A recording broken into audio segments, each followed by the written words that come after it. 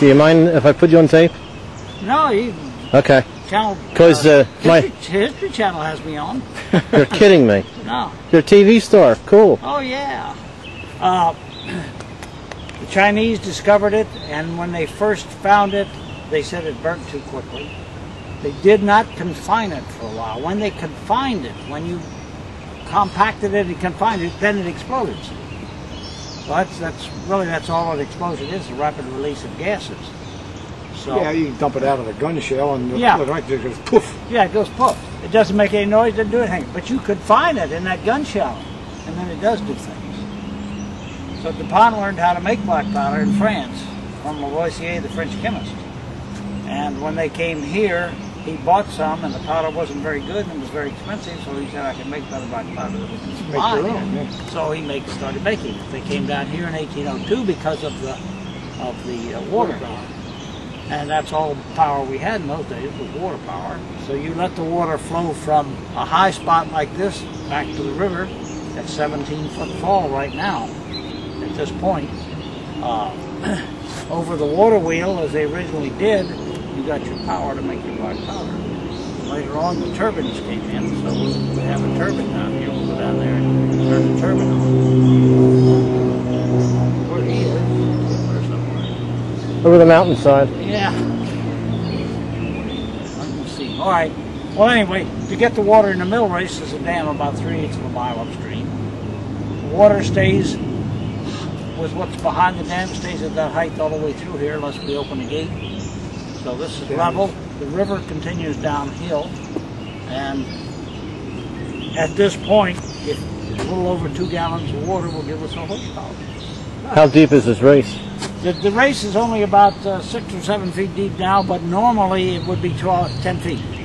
But we got silt in here. In fact, somewhere back down in here we got too much of it. It's just about up to the surface, so Hmm. it should be cleaned out, but we, we aren't doing it. But we got enough water to run the turbine. That's all that counts. Nice, bringing the water down. Then the cyclist wood drum is where the turbine is. The turbine is cooling right the turbine is turning that small level here, turning the big one, turning the fan. You run two of them off. Two of them on one. One motor, two motors. Oh, the problem. Now I think it's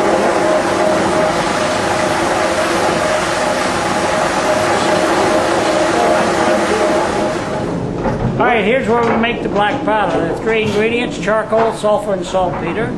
Sulfur and charcoal. And saltpeter. So what's saltpeter? Potassium nitrate. Where'd they get that? Bat droppings. Bat droppings. Oh, Guano. is, is there any other way? Or they, they depend on on on uh, on. Well, that's where it came from originally. I, I don't know whether you can synthesize it now or not, you know. It's just potassium and, and oxygen. Yeah, they probably find a way in the in the laboratory to make Yeah, it. yeah, probably. Yeah, the Civil War they used to do it in a cave. Well, that's that's the guano, yeah, Use the guano and uh, put sulfur in it. yeah. And then Charcoal. charcoal. Charcoal is How much does one of those wheels weigh? eight to ten tons. How'd you get them in here? You know any other hard questions? Well, now, but you just throw that stuff in there You, you put up to 600 pounds of those three things in there. Go up and open the gate, and when that starts running, that crushes that. It also mixes because behind each wheel is a there's a uh, plow. There'll be Yeah, a little plow on that wheel right there. What's underneath? Uh, uh, flat iron? Yes, it is. So you want to be very careful you don't tilt those wheels in any way. Because if two of them hit, you get a spark, it goes boom. Is that what's in there right now, like uh, gunpowder, or is that just dirt? That is 100% absolutely the best imitation black powder you ever saw. All right? How do you know when you got when it's done? Well, that's one of the things that's a mystery to some of us that are living today. They knew, but we don't. Like those that were on the furnace, they knew just when. to Yeah, plug yeah, it. when to pull the plug and all that. That's right. Now, if you look at the TV screen, you can see how clear Oh, that yeah. can Oh, gosh, look how clear that is. With just that little bit of light, too. be. Well, it's on night vision too. Yeah. Nice Wow, that's really good. Was it, was it possible that would gum up and get wet, gum up? Well, you do keep it wet when you're making it because if you expose it at uh, 451 degrees and you've got friction developing heat in there, so you add water to it. So sometimes it, it does and it sticks to the bottom of the wheels. I added water in there this morning. And sometimes you can see it stick to the wheels like right there, right in there. This is you got some black powder in there. No, no, but it's a good imitation black powder. Looks like coal soot, really. It's got some, it's got some, some carbon in there, and it's got some little, no, no sulfur, I don't think. I don't know what all, what all's in there. I wonder if you could smell that sulfur for making this, uh, like you do in Yellowstone Park, Uh, you probably could. smell like rotten eggs. Yeah, that hydrogen sulfide, yeah, yeah. There'd be a difference. If you come be- behind me, you can really see down the barrel. I'm surprised they didn't have a postcard down there in the, in their shop. This thing. I guess they don't, do they? Yeah, that's a good idea, they haven't had one. Can you see down the barrel? Yeah. Yeah, that's nice in there. I can't, uh, I don't know if my camera will photograph that. I got a flash and stuff. Okay, let's go next door.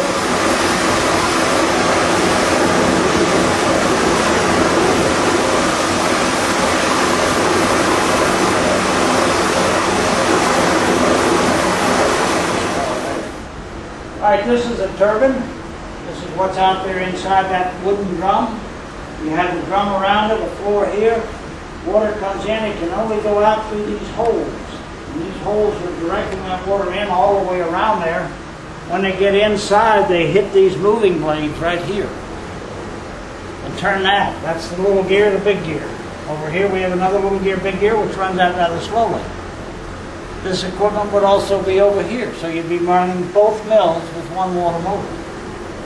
Now, if the powder in this building blows up, we have two solid walls, this one right here, and this one three feet thick stone, and an airspace. So if this blows, hopefully this won't, but there's no guarantee. And also this building, and this, all of them are, are designed with a very lightweight roof. You can see in this case it's sheet metal. In the early days it could have been uh, just regular wood shingles. A light wooden wall here so that if it does blow, the light sheet metal and the light wooden wall go out that way. All goes out. We got back wall six feet thick. That's the reason it's designed.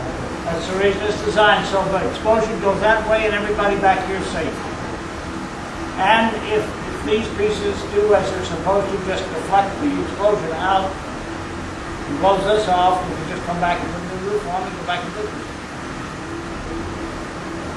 This, this is 151 degrees. In that case, don't light a cigarette. Yeah. All right, this is a type of tester. We don't know that DuPont ever used one like this, but, but there were drawings in his paper, so we know he, he knew about this type. Very simple, we put a fuse in, we add black powder in here, and this is the real black powder. This is the stuff that's made in Minden, Louisiana. It's the only place that makes it in the United States. 4H, 2H, This is 3F. 3F. Yep. There are five sizes of it. Can you get that in there? I had it before. Oh, did you? Mm-hmm. Five sizes of that. It's about This the is the what you- medium size, so there's two bigger, two smaller. Now we put it back over here. About the amount you put in a, uh, a muzzle loader. Yeah, that's what they use. The Only trouble with the black powder is that it smokes. So if you're, if you're in a war and the guy's over there firing at you, you know exactly where he is because of the smoke. Aha. Aha is right. This is not a smokeless powder. Now, if I light it right now, it's going to get flame and smoke, and that's it. If I put a top on it like that, now I've confined it. When I light it, the rapid release of gases, which is, a, is an explosion, is going to push this roof off, or this top off. How far around here it goes, or how high up that goes, is how good it is. So we have to put the top back on. I have to put it over here in this plastic container. Let's good 1800 plastic. And, blow my camera. yeah, you want to get that out of the way.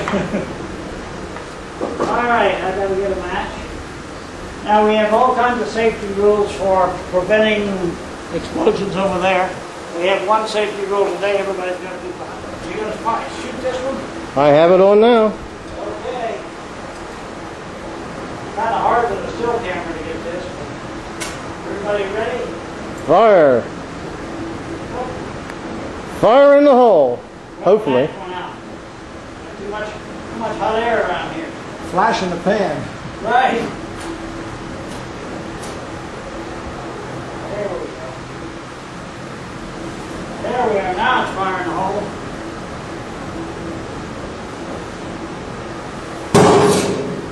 Jeez. Guess it blew the thing all the way around. Yes, it did. Interesting thing was it didn't make that sharp noise. In the wintertime, when there's no humidity, it makes a lot more noise. Now, aren't you glad you didn't have your finger in there? Yeah, it went around and hit the weight actually, and rolled the weight over. It could have gone that far, so it's pretty good in my pocket. I mean, some of it won't, won't, won't push it all the way around. Well, it hits the weight. Oh, Yours hit the weight. Yeah. Now, if the weight weren't there, it comes around, you hit that weight. Sometimes it pushes it around, sometimes it doesn't. Well, this is easy because I don't have to lift 300 pounds. So closing it's no problem. Now, how high will that gate go? It'll go quite a bit higher, but if you do that, you're going to run that damn thing too fast.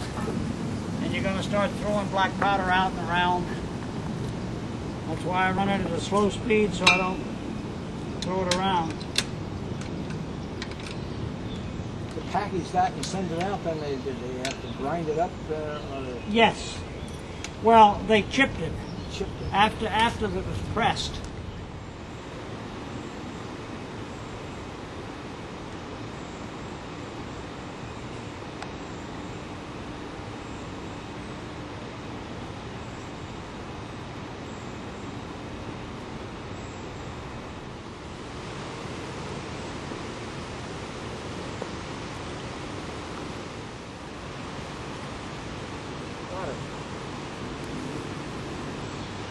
It's a goodbye.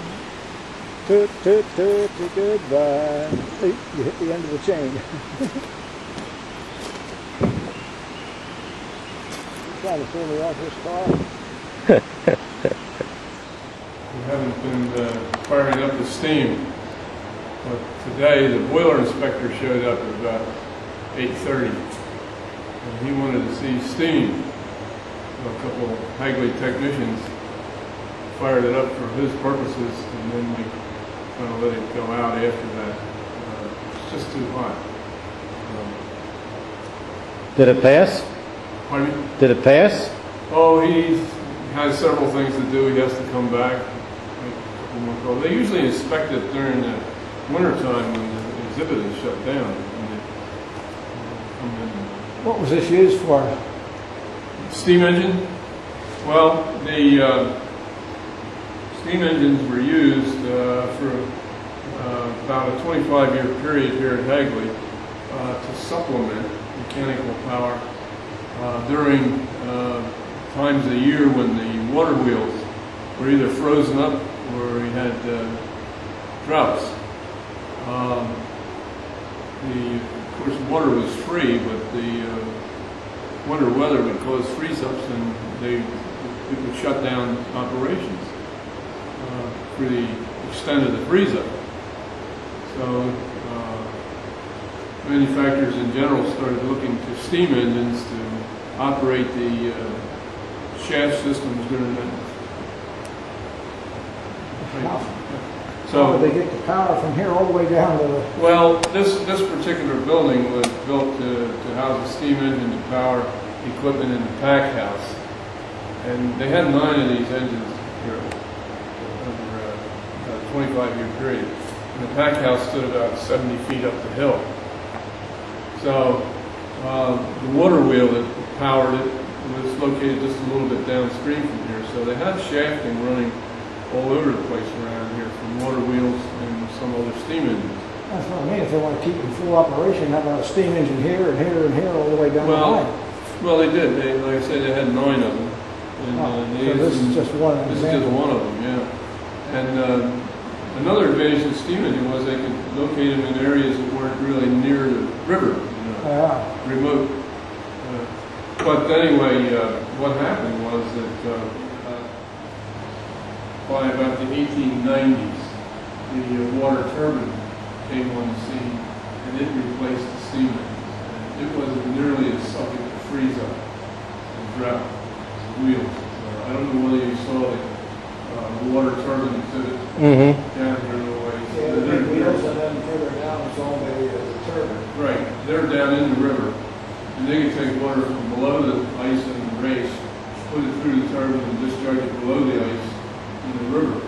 So they weren't nearly as affected by freezing. And, uh, Same as the grist mills that they had, some of them had an indoor wheel, yeah, but they would run, they're yeah, yeah, but, uh, but the water turbine also, uh, was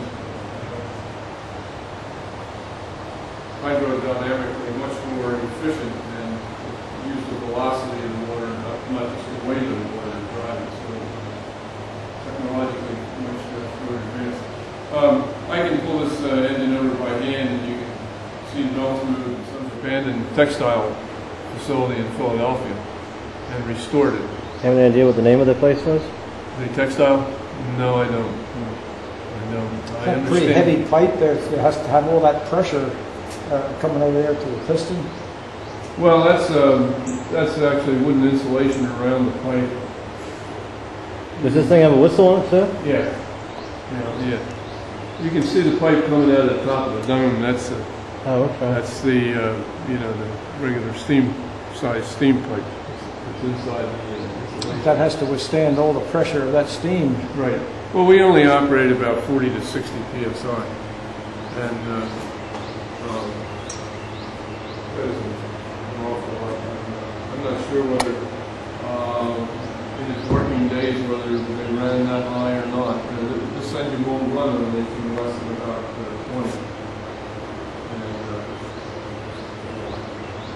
And, That big wheel knows you have. uh, yeah, well, that's, that's just it. I can, uh, uh, I can pull this over with my hand. And, uh, it, it normally runs about 60 RPM, and I can't, I can't, I can't pull it at 60 RPM, but I mean, you know, once you overcome that initial inertia, well, sorry, it doesn't, uh, Now, what is that rod firing over there?